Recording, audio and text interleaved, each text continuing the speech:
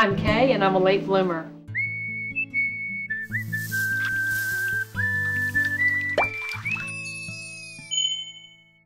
Last week, I published a blog on my website, latebloomershow.com, entitled Greens Too Pretty to Eat.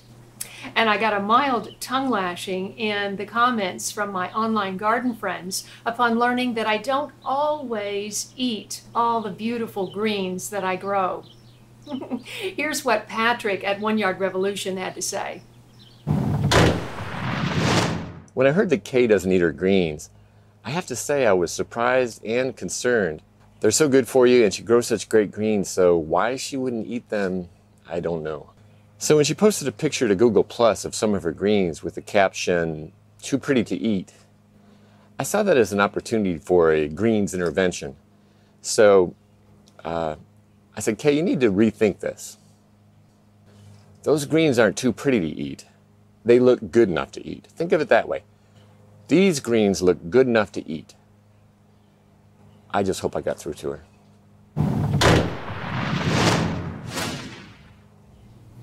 So I decided to challenge myself to seven days of eating my greens. Check it out. Loaded with nutrients like vitamin A and known for its antioxidant properties, bok choy is a cruciferous vegetable that is easy to prepare and enjoyable to eat. I sauteed garlic and ginger in hot rice bran oil for one minute. Add bok choy and soy sauce. Cook two to three minutes or until the greens are wilted and the stalks are crisp but tender. I added miso at the end.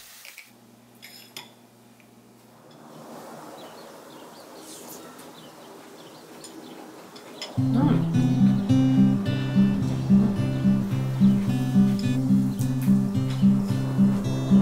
Good. Day number one. Arugula is a pungent herb widely cultivated around the world and is rich in vitamin C and potassium. Is that gorgeous? In addition to the leaves, the flowers, seed pods, and seeds are all edible. I love the peppery flavor in salads.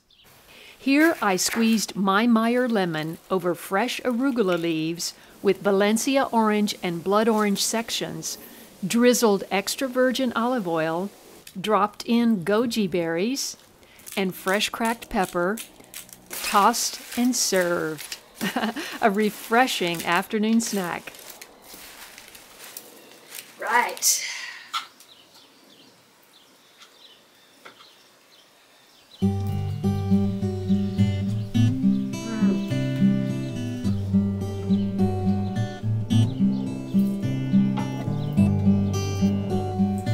That's good. Mm. I planted a container of dwarf kale and thought the smaller, more tender leaves might be more palatable in a salad. It's recommended to massage kale leaves with olive oil, but I learned this time saving trick from my son Walker. Massaged. I took my kale salad ingredients, from Late Bloomer Show Facebook friends Martha Zook and Malia Blossom.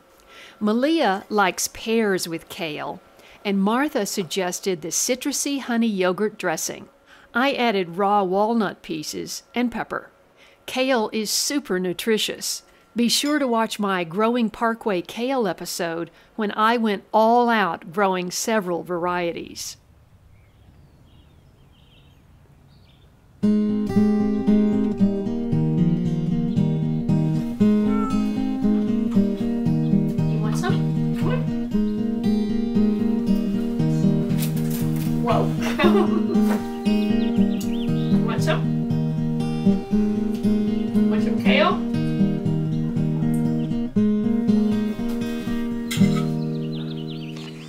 I kept it simple on day four. Most people eat the root and discard the beet tops, but the leaves are the more nutrient rich part of the vegetable. Packed with antioxidants, they're high in vitamins, minerals, low in fat, and cholesterol. The best way to deliver all that nutrition is fresh picked and raw. As I was already making a supply of my green juice, I simply added beet tops, which makes it naturally sweet.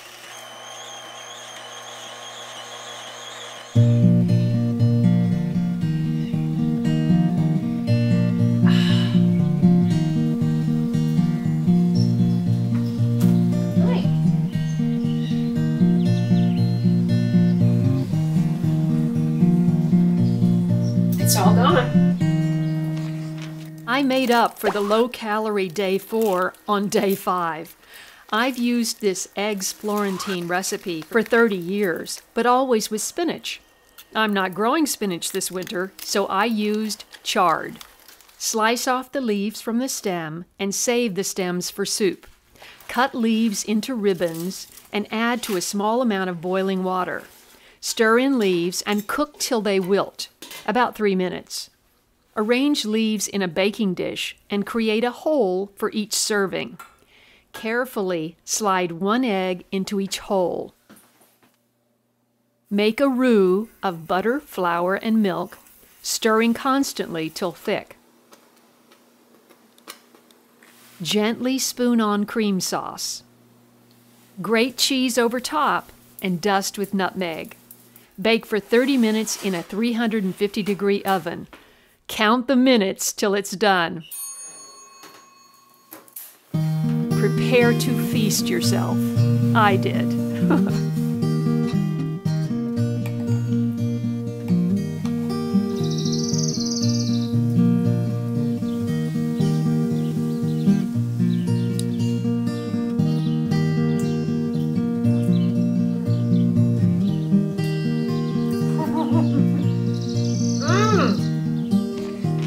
ate that entire thing.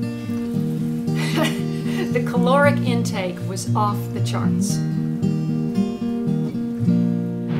My mother grew up eating turnip greens and cornbread and still enjoys eating them. I never learned to love them, but this was my first time growing turnips, and they are an excellent source of vitamins, minerals, and fiber, so I put turnip greens in my seven day challenge.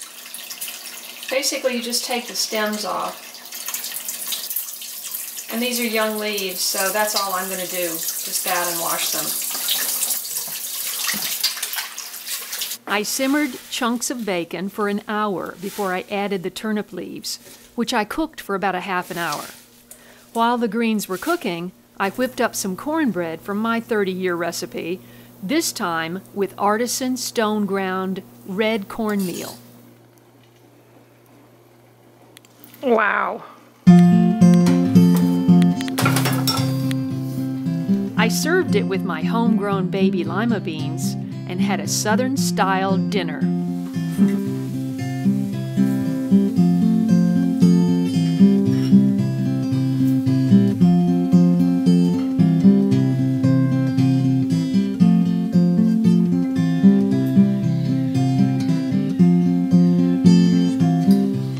That was the best cornbread I ever made. All these recipes will be on my website in an accompanying blog.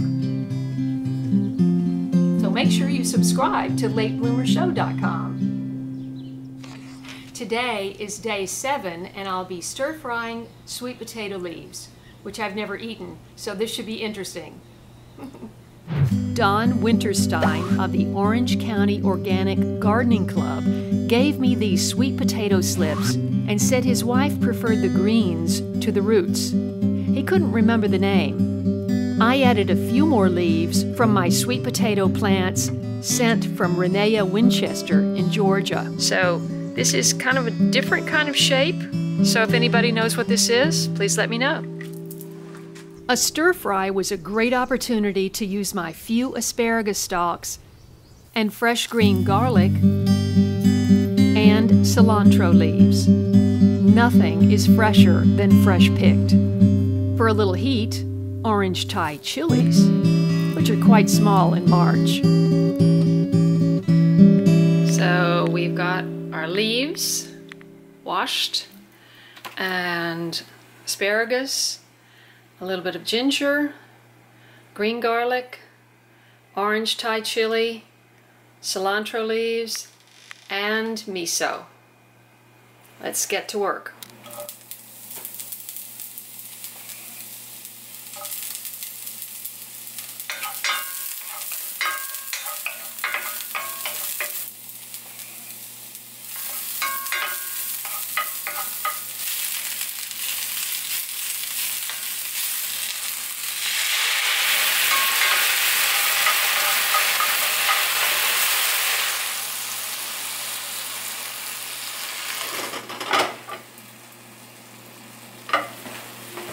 Been slaving away in the kitchen for 10 minutes.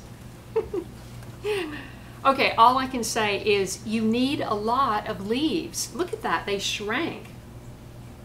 You can hardly see them. Okay, now for the taste.